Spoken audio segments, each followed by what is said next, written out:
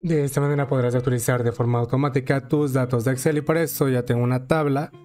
Es una tabla bastante grande y completa. Y suponiendo, bueno, que tengo muchos, pero muchos archivos o muchas celdas, muchas filas. Entonces, ¿qué tal si se están subiendo constantemente actualizaciones? Y la primera forma para actualizarla de forma manual simplemente es yéndonos a esta barra de tareas. Le damos clic acá, de hecho puede que en tu caso esté así. Vamos a diseño de tabla y le damos en actualizar, le damos clic acá y en automático se está actualizando. Ten en cuenta que de acuerdo al largo de tu tabla, la cantidad de datos y así, puede que lo haga al instante o puede que se tarde 10 segundos, 20 segundos, un minuto. Todo esto depende del tamaño de datos que tengas.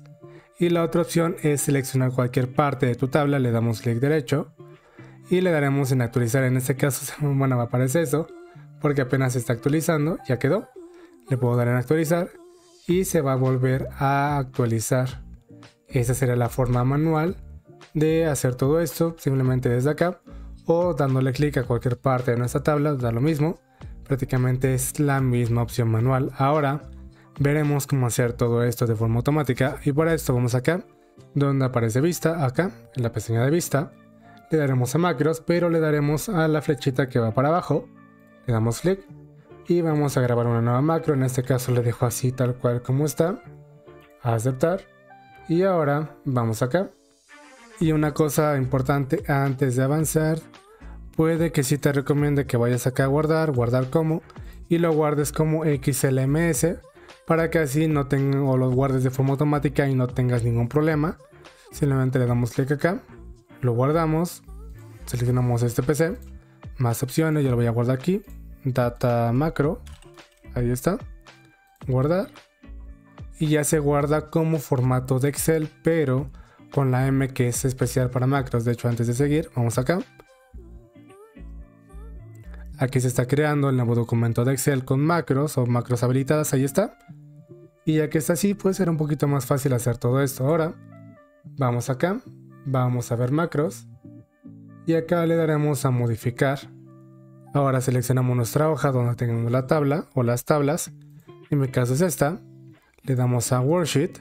Y acá voy a separar esto para que se vea un poquito más bonito el código. Y vamos a usar esto. En sí, este es para refrescar todas las tablas que hay en una misma hoja o en, un mismo libro. Y este es para eh, refrescar una tabla en específico. Por ejemplo, ¿qué tal si tiene 5 tablas? Y puede que una tabla sea la tabla madre que tiene todos los datos importantes y las demás van agarrando pequeños datos o pequeñas filas, pequeñas columnas de esa tabla. Entonces para que así simplemente actualices una y sea el código un poquito más eficiente, puedes hacerlo, aquí pones el nombre de tu tabla y ya está, pero en este caso lo haré acá. Selecciona esto, recuerda que esto va a estar en la descripción para que lo busques. Bajo con control V, lo guardo y en mi caso se guarda en automático porque ya está habilitado para macros y no va a aparecer un anuncio de tienes que hacer tal cosa o para guardar todo esto tienes que habilitar para macros, etcétera.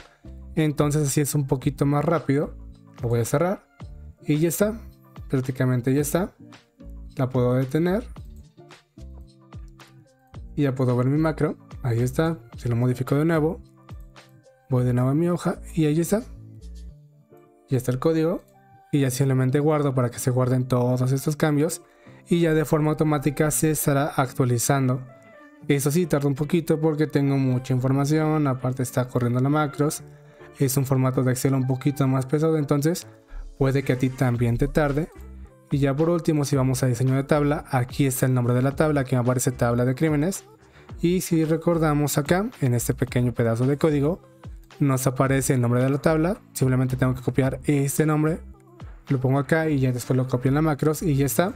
Y también por último, ya como recomendación, puede que en tu caso tengas habilitada una opción si le damos clic acá. Bueno, en este caso se está actualizando de forma automática. Aquí puede que te aparezca la opción de ver código, en mi caso yo no lo tengo, pero puede que en tu caso sí, simplemente le das clic acá en ver código y ya no tienes que hacer todo esto, de grabar macros, detenerla y así. Ya está de forma automática, pero en mi caso sí. Ahora simplemente voy a cerrar. Lo guardo y bueno. De esta manera ya aprendimos a actualizar los datos, ya sea de forma manual o de forma automática con un pequeño código de macros y aparte cómo guardarlo correctamente porque ya deja de ser un archivo normal de Excel y ya es un archivo de Excel habilitado para macros y bueno, eso será todo por este video y nos vemos en el siguiente.